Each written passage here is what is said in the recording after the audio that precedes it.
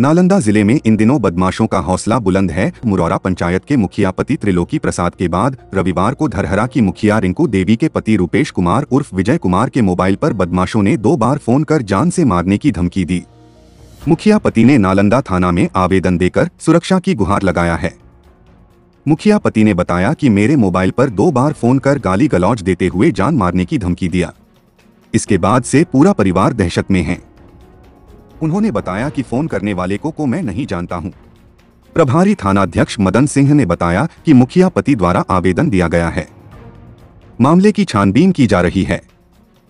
मामला पंचायती से जुड़ा है, जिस पक्ष में मुखिया द्वारा फैसला नहीं सुनाया गया है।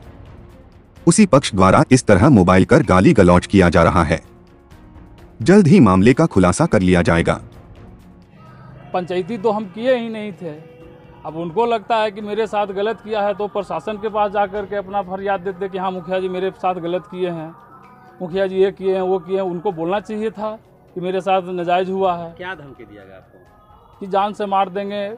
हम लोग को पूरे परिवार दहशत में हम लोग हैं। गाली गलौज किया गया है कट्टा से मार देंगे घर में आके मार देंगे। क्या कोई रंगदारी नहीं मांगी नहीं रंगदारी तो नहीं मांगा था। बस वैसे ही धमकी भरा दिया है मेरे पास ऑडियो क्लिप उसका है। क्या नाम रखते हैं पूरा? मेरा रुपेश कुमार नाम हुआ उठ विजय कुमार। मुखिया पति मुखिया पति धरारा पंचायत।